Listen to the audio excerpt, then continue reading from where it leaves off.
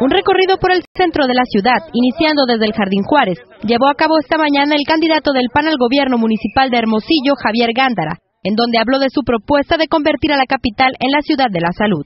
Lo otro es desarrollar una serie de servicios y negocios alrededor de ese tema, pero fundamentalmente acercar mucho ya como municipio los servicios de salud a tanta gente que carece de ellos.